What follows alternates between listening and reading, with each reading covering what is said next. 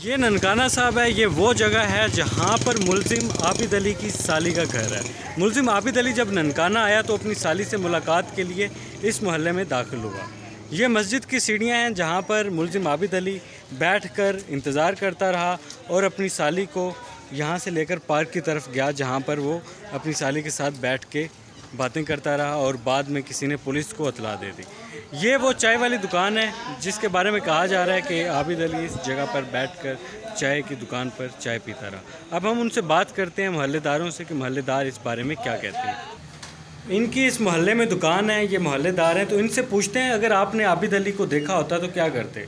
उनको पकड़ लेते। पकड़ के क्या करते? पुलिस के हवाले कर पुलिस के हवाले करते। यहाँ पर और भी लोग हैं मोहल्लेदार तो किसी ने भी नहीं देखा उसे? हमें तो नहीं पता उसको किसी ने देखा है या नहीं देखा। सही। अगर देख लेते तो पकड़ के लतरोड़ करते उसकी। पुलिस चित्र प्लेट होती। पुलिस के हवाले करते। पच्चीस लाख रुपया मिलता फिर। हम पुलिस के हवाले कर सकते हैं पुलिस पच्चीस लाख का नहीं पच्चीस लाख का लालच नहीं था। नहीं बस ये कौमी ज़िम्मेदारी थी उसे अदा करते थे।